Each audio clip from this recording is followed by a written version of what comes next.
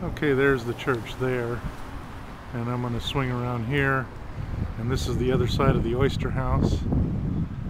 And uh, this is the inlet bay where the ships would come in and unload at the oyster house.